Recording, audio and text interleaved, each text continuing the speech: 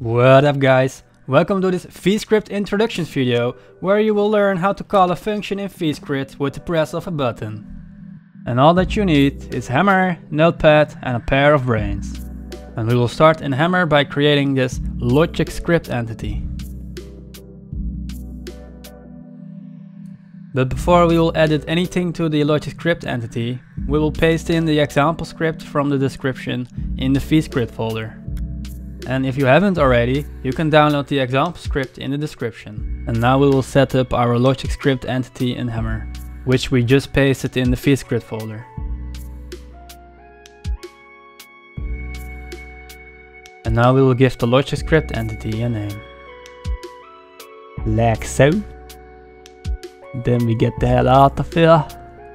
And now we click this button and now we will go to the uh, output tab and add a new output. And we will choose the uh, logic script we named earlier.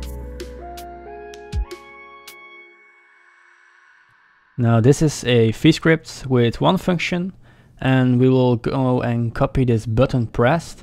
That's the uh, function name and we will add this function name to the button so it knows which function to call.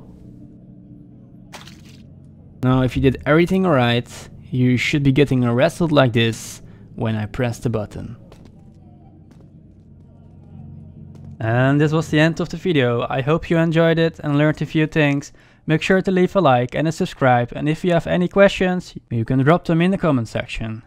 Till next time, ciao!